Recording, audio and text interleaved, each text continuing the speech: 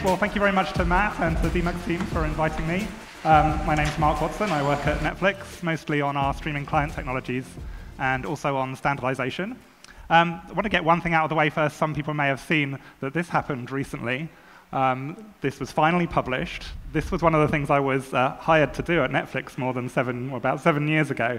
So the fact that it took seven years to do and that it's finally done, maybe not great for my job security, but there's been a lot printed in the press about it, and not all of it good, and a lot of it we're not allowed to respond to. But um, I think one thing that I really want to emphasize here is the reason we did this was all about these guys. And we were able to migrate from Silverlight, and other people have been able to migrate from Flash because of this. And so you can expect, um, if your site is still using Flash or Silverlight, the browsers are going to be coming for you. You have no excuses left. It's time to abandon plugins and allow um, the browsers to deprecate them fully. So what I wanted to talk about today is a bunch of new things that we have going on. It's a really exciting time now to be in video engineering, and we have a bunch of new toys that we can play with. Um, Stephen from YouTube talked last year a little bit about high dynamic range and wide color gamut, and I want to go into a bit more detail about some of the things we're discovering and some of the problems we're discovering with those technologies, um, exciting things for us to try and solve. And we also have a bunch of new video codecs. So the Alliance for Open Media should publish the uh, AV1 video codec um, before, before the, well, at the end of the year. We also expect to have a new image format based on that, um, which we are going to call AVIF. And then um, for those who like royalty uncertainty, there's also HEVC and uh, HEIF that can uh, have similar performance or, or, not, not quite as good as AV1. So I want to talk about these uh, new, new technologies. Um, a little bit about the Alliance for Open Media first. So this has not been only a technical exercise to develop a new video codec, it's also been quite an involved legal exercise. So royalty-free, which is where we hope the codec will be, does not mean patent-free. So we have 30 more than 30 member companies in the Alliance for Open Media, and they will be dedicating their IP portfolio, such as it's relevant, to, uh, to this codec and enabling people to use that um, royalty-free. And we also have conducted a lot of uh, legal review to try and make sure that there's very low risk on this codec. And the final thing that's important about the licensing model for the AV1 codec is that uh, when you use the license to actually make use of AV1, you also grant back any uh, rights that your company may have to all the other users of AV1. So this kind of spreads like a viral thing. Everyone um, who's out there has a choice that they can either use the codec or they can just not use it at all. Um, and if they use it, then they contribute to the pool of rights that, uh, that support it and reduce the royalty risk. So to say, we also expect to define an image format a little bit like HEIF, but focus more on dis image distribution, uh, not so much on the capture side. So something very simple, just use the iframes from the AV1 video codec and allow those to be used to, uh, to distribute still, still, image, still, images as well. So this is a bunch of the new toys that we, uh, that we have to play with. The other thing that we see happening um, at Netflix, somewhat independently, is a great deal of innovation on user interfaces and discovery experiences that, uh, um, that our team on the user interface side are inventing. And this is driven by improvements in device performance, um, especially on TV side. Um, we start seeing GPUs on devices, TV devices now, which enable a whole bunch of, sort of them to do new and exciting things with that. So I wanted to talk a little bit about where uh, video discovery experiences are going. And we'll get back to the, the new tools and um, new toys in a, in a moment or two. So here is uh, where we came from. Obviously, this is not Netflix, but back in the day, it's a kind of choose, click, watch experience. And uh, there's no tyranny of choice here. Um, this is your entire universe. Your, as a user, your um, job is to make a decision between this handful of things, and you pretty much know that there's nothing else on offer, so there's no uh, FOMO there. Um, you just got to choose one of these things when we get to services like Netflix, when we first started, then um, you can enhance that. There's obviously a much bigger universe of things to choose from, and we rely on recommender systems to try and show people the things that we think that they will want to see. And we make the experience more visually interesting with images rather than simply text descriptions. Um, and we've even discovered um, more recently that the images that work best for a given bit of content can vary from market to market, actually improve the um, uh, take up by optimizing exactly which image you use. So this is a huge improvement over what was had before. It's still pretty basic. It's still just a little um, list of things um, with only an image for you to try and decide what you want to do. So you know, no matter how good the recommendation systems are, at the end, uh, a human being has to make an actual decision about what they're going to watch. And human beings generally, although this approach is getting less popular in the public sphere, generally need evidence on which to make decisions. And here in this user interface, the main evolution is that we add a bunch more evidence to the thing that's currently highlighted. That together with us trying to show them things that they might want to watch in the first place allows them to try and make a better decision about whether this is going to be something that they're going to enjoy. So here you have um, a, bunch, uh, a much bigger image that can show you more about what the show is going to be like and so on. So the obvious next step, if what I'm trying to do is uh, give the user evidence about whether they want to watch a particular video, the obvious missing thing here is video. There's no video in that evidence that might help them understand what they want to watch. And so the next sort of evolution of our user experience sometime last year was to include video playback in the uh, browsing experience so that as you're moving around, then it's constantly showing you videos. And if people can make a better decision about what they're going to watch, then you know, they're more likely to enjoy the service and more likely to continue to subscribe to it. OK, back to the new toys. Um, I'll talk a little bit about high dynamic range and wide color gamut and um, what those things mean for uh, video and for those user, experience, uh, user experiences that we're designing. So I guess many people here are probably familiar with high dynamic range, just the basic background. This is a completely simulated, faked up image, but this image has a lot of dynamic range in the original scene. There are bright areas and there are dark areas. Um, but I've kind of compressed it a little bit so that it sort of looks a bit gray and dull. If you are able to do that in a high dynamic range, you would see a much uh, bigger range of brightness, um, you're much more detail in the dark areas, and it generally looks a lot better. So in my experience, this is kind of the transition to high dynamic range is rather like the transition was from SD to HD. You go from seeing things which looked like a sort of plane of moving pictures into something that looks more like a window onto a, a more realistic looking um, view. And that change is much more significant visually than the change from HD to 4K. Um, it depends a lot on how well the content is authored to take advantage of these new things, but it really could be sort of transformative in terms of the user experience and how immersive and, um, and realistic the images look. So we also have a bunch of new colors. Um, the color range of traditional, so standard dynamic range TV is somewhat limited to G709 color space, and that displays have for a while been able to um, render a much wider range of colors. So you can get essentially deeper, um, less uh, more saturated colors, you can get the uh, actual color of a London bus, which is outside of the G709 range. So you've probably never, and this is not an image of accurate image of a London bus. It's really not that color. Um, and hopefully soon we'll be able to display the true color of objects in the world on uh, consumer displays. So what is the basic technical change? You know, I've got a few minutes into this presentation and we haven't had any graphs yet. It's obviously wrong for um, Demuxed conference. So what is the basic technical um, change that's behind um, high dynamic range? So fundamentally, you're trying to render pixels on the screen. You've encoded them digitally. You have some numbers. You need to map those pixel values into a luminance um, for the pixel on the screen.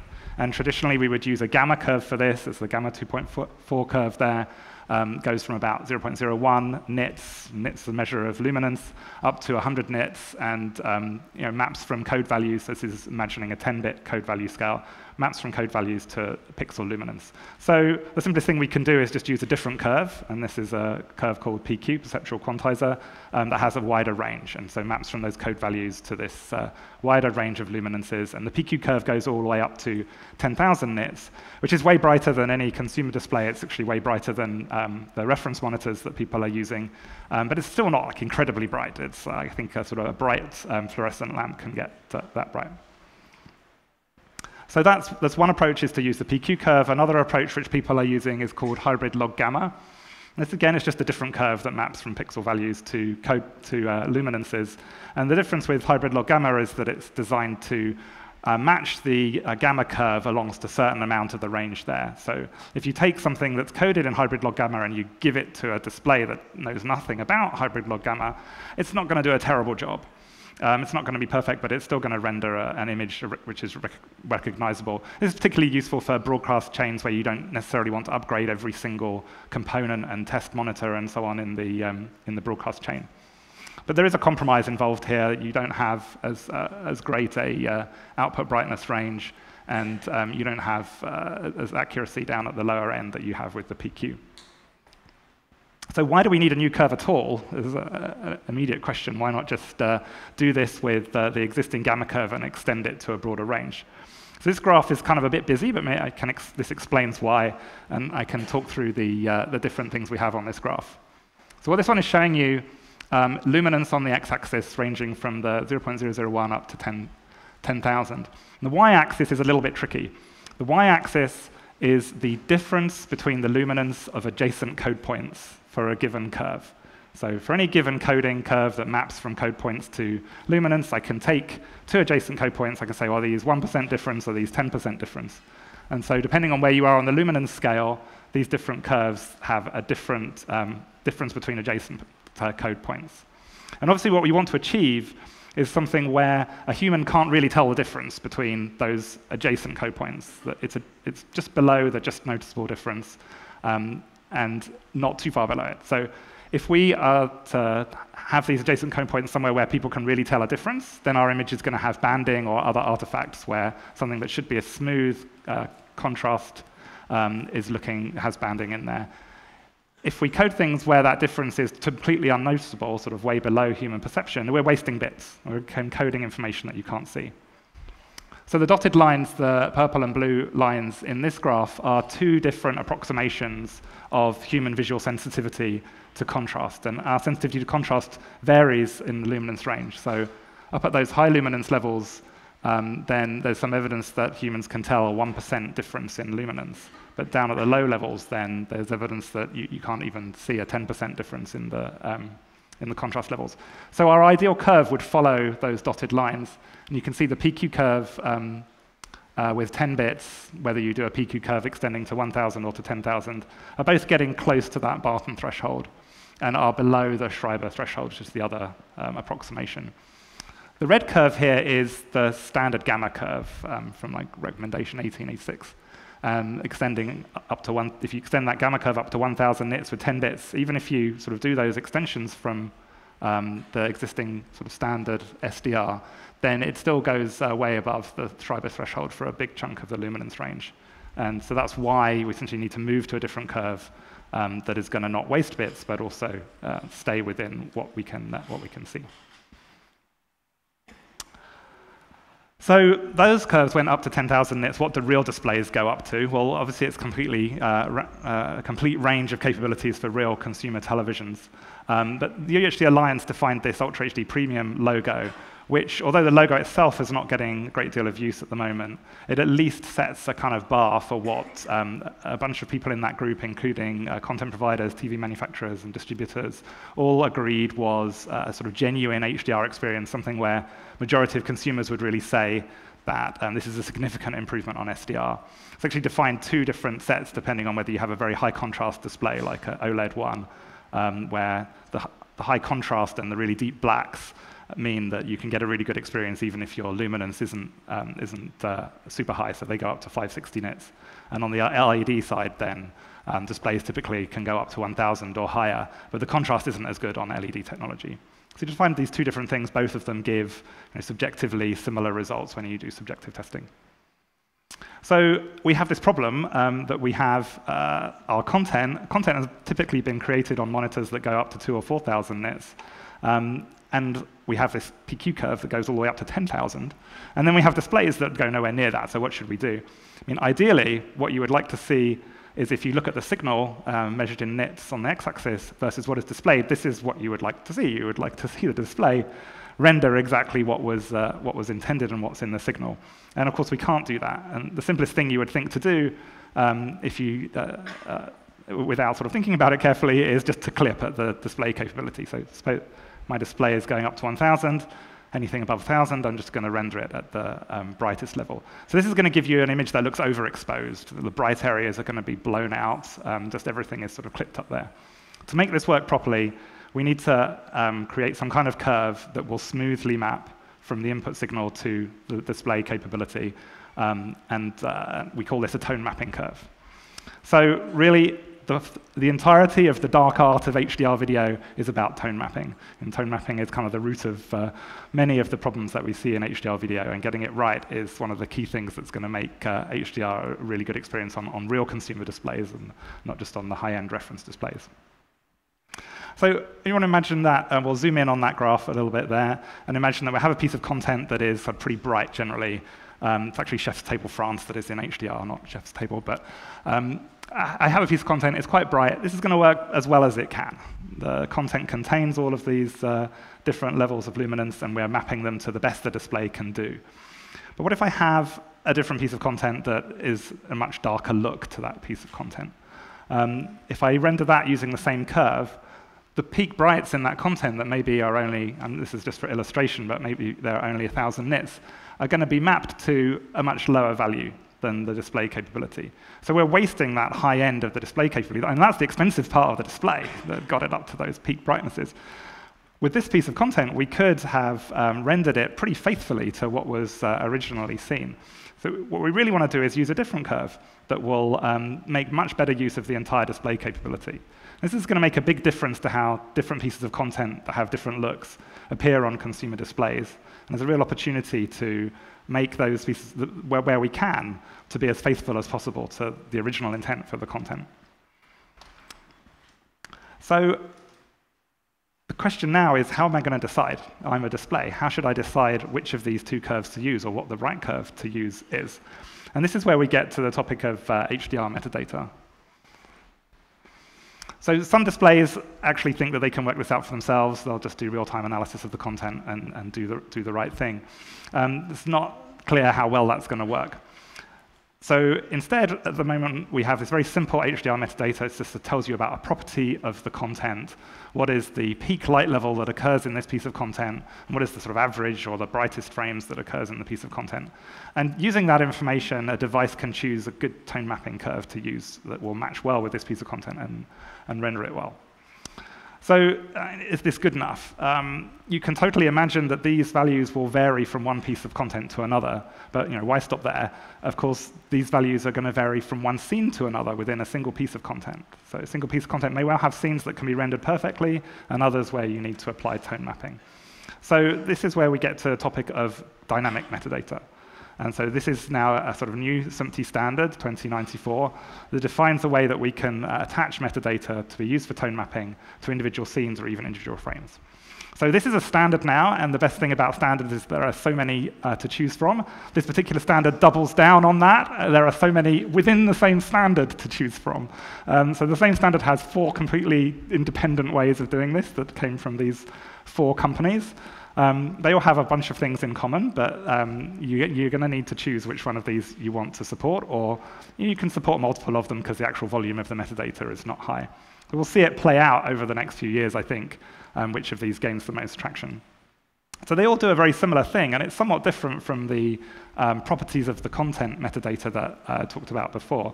They all define uh, color volume transform. So I haven't talked much about color, but essentially the same problem applies to color um, as applies to luminance. We have a, a range that is in the source material that is wider than the display capability, and you want to try and uh, shrink that in without give, causing artifacts, um, but whilst, whilst being faithful to the original colors uh, to the largest extent that you can. But this one is a different model. Instead of uh, uh, providing the metadata, it actually provides the transforms that can be applied to specific frames or specific scenes.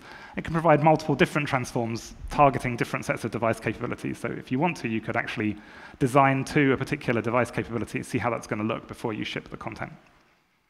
And it also has things that will um, apply this to specific regions of the image, although I'm not sure if anyone's likely to support that. You can carry this information over HEVC and, uh, and HDMI and so on.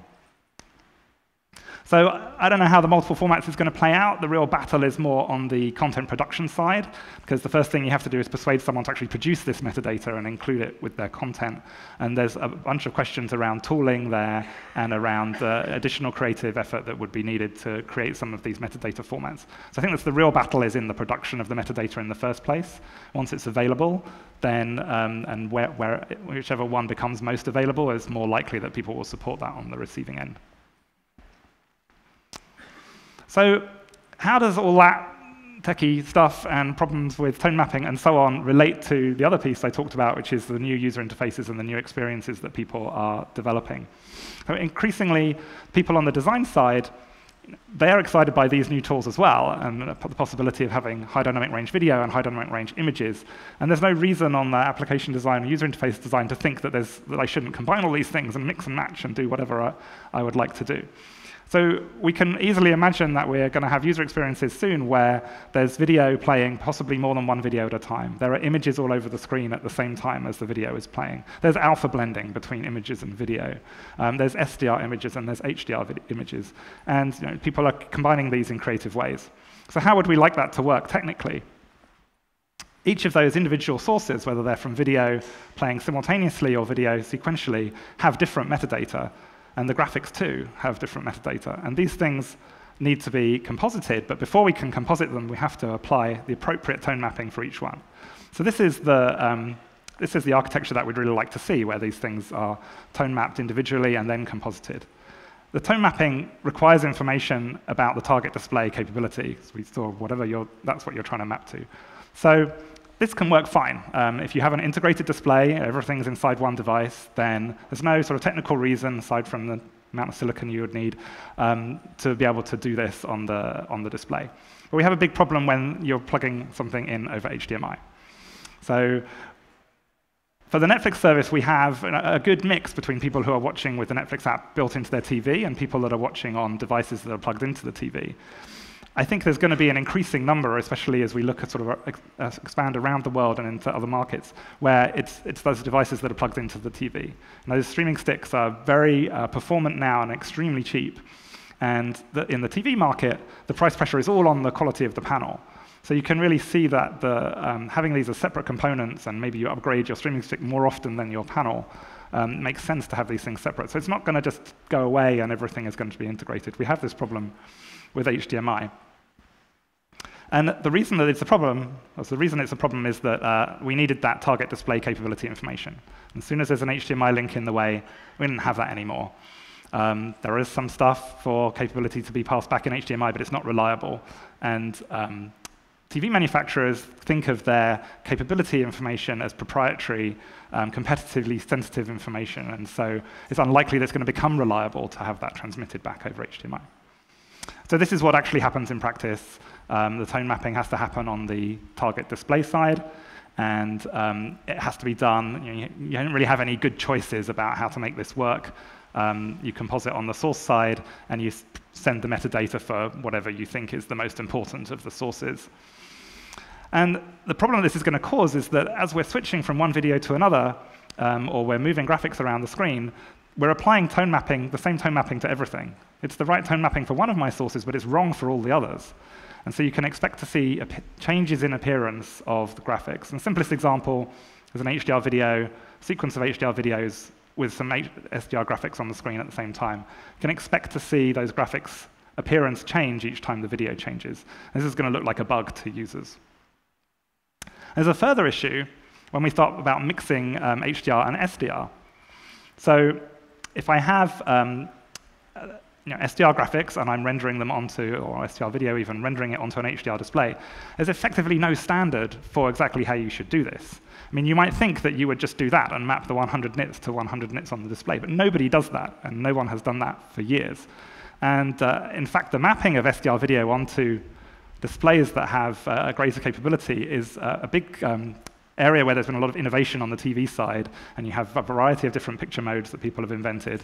And they feel that those are competitive differentiators as well, that they've designed those uh, mappings um, based on what they, their perception of user preferences. So you know, everyone's mapping it to some higher number, and there's no standard for what that should be. It's not even clear that it, there should be a fixed number for that. that um, it seems there's plenty of evidence that there should be some creative control over exactly what that um, SDR images or graphics gets mapped to in the context of an HDR display where it's being composited with other things. So it's obviously not correct also to map it to the peak white of the display. So you're going to have sort of blindingly bright subtitles um, and so on.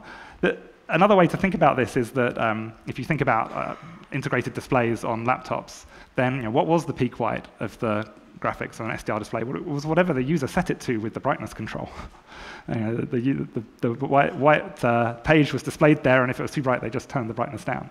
So this isn't right for HDR anymore, because you want to use that headroom above what is a comfortable white background for the highlights and the specular highlights in HDR uh, video and images. So we really have a sort of unsolved problem here. What should that number be? How can we get creative control of it or programmatic control of that mapping um, to make sure you get the sort of right result and you, you use all the capabilities of the display? So this is a good time for a quick sidebar about uh, creative intent. So I've talked a little bit about being faithful to what people intended. What does that really mean when we talk about creative intent for, this is most for, um, well, I was going to say professionally produced content, but all producers have some intention about how they want their content to look. Um, so we define creative intent as the look of the content um, that the producer or the director or the colorist wishes to convey to the end user. And we strictly say that that is established in a grading suite when they're sitting there looking at a reference monitor and they sign off and say, oh, this is, this is how I want it to look. And it's dependent on multiple things. It's dependent, obviously, on what is actually displayed on that reference monitor, the actual pixel intensities that were emitted there, and on the resolutions and the frame rates. It's also dependent on the ambient light in that, uh, in that environment, because the look of something depends on the, the brightness of things around it. So I think many people have seen this one. Um, the squares A and B, clearly different colors there, um, but actually not. They're the same colors, they just look different because of the surrounding colors. And if creative intent is how things look, then the creative intent of this image was that these things should look different. It depended on the ambient light. So HDR, we have a new opportunity. In SDR, content was graded up to 100 nits, and all the displays had greater capability than that, and all bets were off about what the displays would do with that. And we have a new opportunity with HDR to try and return to more faithfully reproducing what was intended. And ambient light is an important component of that. It's not an easy one, but it's certainly something that needs to be considered, um, unless we, otherwise we're just going to get feedback from consumers that this doesn't look good, this looks too dark, or it's too bright, or whatever. So going back to the um, problem with HDMI that I mentioned earlier, we have our different sources. They really need different tone mapping. Um, and uh, we end up having to do that just a single tone mapping on the destination side. If we take the two principles that the destination device is the one that's best placed to do the tone mapping, and we also take the principle that we need to do the tone mapping separately for each source, we don't have any alternative apart from to go to this, which is to send those different components independently across HDMI. So this is something that would have been kind of impossible with HDMI as it was like 2.0 and before.